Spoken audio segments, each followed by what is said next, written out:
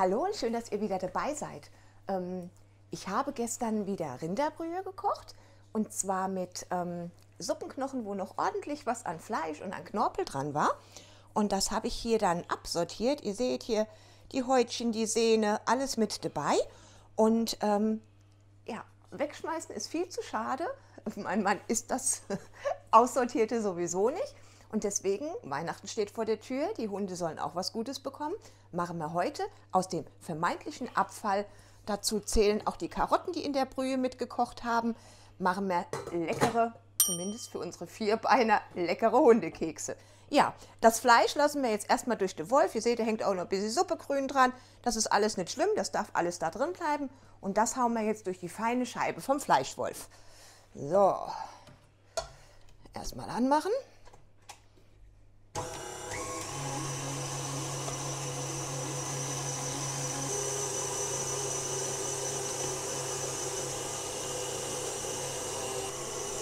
So, dann nehme ich als nächstes die Möhren. Auch die kommen durch den Wolf. Das haben wir schon mal. Als nächstes brauchen wir jetzt etwas zum Binden. Und hier habe ich Haferflocken. Die werde ich jetzt einmal durchmalen. Da ist es ganz egal, ob ihr kernige oder die, die blütenzarten Haferflocken habt. Das ist ganz egal. Und wer keine gemahlenen Haferflocken hat, der kann an der Stelle auch ein Mehl nehmen. Aber ich habe gerne die Haferflocken. Und dann brauchen wir noch Eier. In der Videobeschreibung habe ich euch die einfache Menge angegeben. Ich habe jetzt die anderthalbfache Menge, einfach weil ich so viel ähm, Fleisch und Knorpel und Sehne noch von dem Suppenknochen runtergeholt habe. So, dann geben wir erstmal die Eier rein. Und dann geht es erstmal ans Vermengen. So, ein bisschen was von den Haferflocken mache ich schon mit rein. Und dann wird später nochmal nachjustiert, je nachdem, welche Bindung ich brauche. Parallel habe ich schon den Backofen auf ähm, Umluft 160 Grad vorgeheizt, damit wir das Ganze dann auch backen können. Und ja, die Karotten können natürlich auch beliebig ersetzt werden, wenn ihr gerade einen großen Kürbis geschlachtet habt und äh, nicht wisst, was ihr mit dem Rest noch machen sollt. Könnt ihr natürlich auch den Kürbis nehmen. Und ähm, ja, meine Hunde lieben es ganz besonders, wenn das äh, Gemüse in Brühe gekocht wurde, weil dann schmeckt es hier auch noch nach Fleisch. Und ähm, ja, wenn ihr dann Brühe kocht und die, um die Fleischreste zu nutzen, ein bisschen Brühe, das Gemüse da drin noch weich kochen, wenn es nicht die Karotten aus der Brühe sein sollen. So, ich merke, ich habe hier noch zu viel Feuchte im Teig. Das heißt, ich gebe noch ein bisschen was von den Haferflocken, den gemahlenen, mit rein. Und im Übrigen geht das auch mit jedem anderen Fleisch. Wenn, wenn mein Vater gerade ein Stück Wild hat und ich da die, die Knochen bekomme, äh, koche ich die auch gerne aus für einen Fond oder für eine Brühe und nehme dann auch gerne die, die Wildreste. Also das muss nicht unbedingt drin sein. Bei mir ist das jetzt nur angefallen, weil ich eine Rinderbrühe gekocht habe. Und äh, deswegen ist es jetzt Rindfleisch. Es kann auch Geflügel, es kann auch äh, Wild. Ähm, je nachdem, was eure Hunde bevorzugen, geht das mit jeder Fleischsorte. So, okay, gut vermengt haben wir das Ganze. An der Stelle lassen wir es jetzt noch ein kleines bisschen, vielleicht eine Viertelstunde quellen damit die gemahlenen Haferflocken schön aufquellen können und der Teig noch ein bisschen mehr Bindung bekommt. So, der Teig hatte genug Zeit zu quellen, beziehungsweise das gemahlene Haferflockenmehl. Und jetzt gehen wir zum nächsten Arbeitsschritt. Dafür hole ich mir erstmal eine Portion aus der Schüssel. Und jetzt rolle ich daraus quasi mit ein bisschen Mehl einen Strang, eine dünne Wurst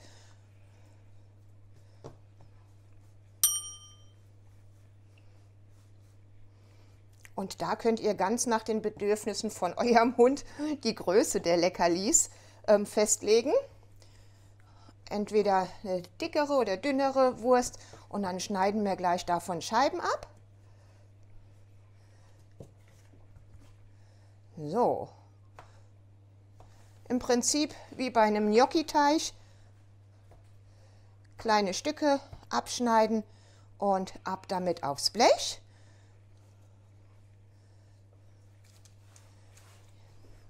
Und denkt dran, Damit die Hunde das Ganze nicht schlinge, passt die Größe an euren Vierbeiner an oder an den zu beschenkenden Vierbeiner.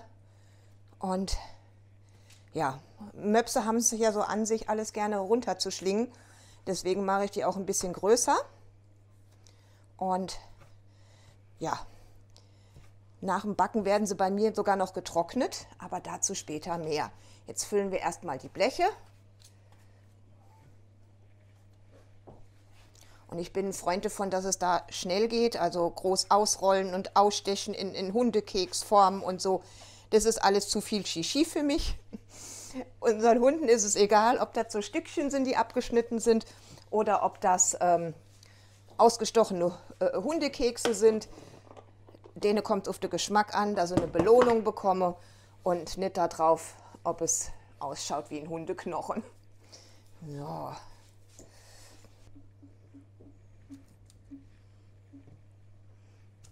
So, das erste Blech kann jetzt schon in den Ofen.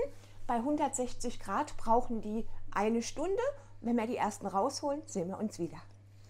So, eine Stunde Backzeit ist rum. Ich habe zwischendrin immer mal wieder den äh, Backofen aufgemacht, um die Dampfschwaden abziehen zu lassen, weil die Kekse sollen ja trocknen. Die sollen nicht nur gar werden, sondern auch trocknen. Und jetzt holen wir das Ganze mal aus dem Ofen. So, Blech 1. Ich sehe nichts, hole aber trotzdem Blech 2 raus. So. Und ich mache jetzt eins. Ich mache jetzt alles auf ein Blech. Na, die letzten noch runter, weil die sind ja jetzt noch relativ weich, haben dadurch eine, ja, nicht ganz so lange Haltbarkeit. Und ich gehe jetzt hin, wenn die abgekühlt sind und stelle dieses Blech neben den äh, Kaminofen, bei euch dann auch in die Nähe von der Heizung und lasse die noch nachtrocknen, bis die wirklich knüppelhart sind. Dann sind die auch ein paar Monate in der luftdichten Dose haltbar und sie können jetzt sofort runtergeschlungen werden. Ähm, das heißt, es ist dann auch noch für die Zahnpflege ganz gut.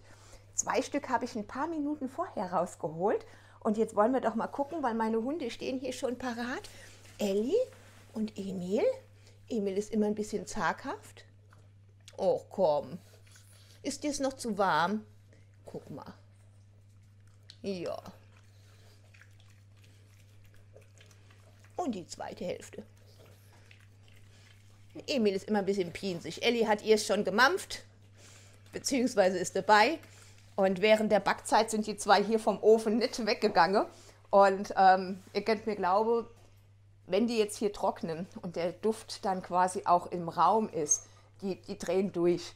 Und ähm, jeden Tag bekommen sie einen und dann ähm, kommen die auch mit der Veränderung ganz gut klar, dass die immer härter werden, weil die kennen ja dann den Geschmack, wenn die auch weich sind. Und ähm, ja, unsere Hunde lieben das, egal mit welchem Fleisch, ob Wild, ob Rind, ob Geflügel. Immer wenn ich was übrig habe, was von den Knochen runter muss, mache ich diese Kekse und ähm, ist eine prima Resteverwertung für die Teile, die keiner essen will. Und wenn euch das Ganze gefallen hat, freuen wir uns natürlich wie immer über einen Daumen hoch, einen Kommentar und klar auch ein Abo. Viel Spaß beim Nachmachen und bis zum nächsten Mal. Tschüss!